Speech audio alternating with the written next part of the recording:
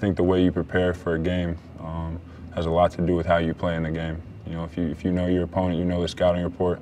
um, you put in the time and you're focused mentally, then um, you know it kind of gives you confidence and it kind of puts you puts your mind at ease uh, when you step out on the court, and then everything else takes care of itself.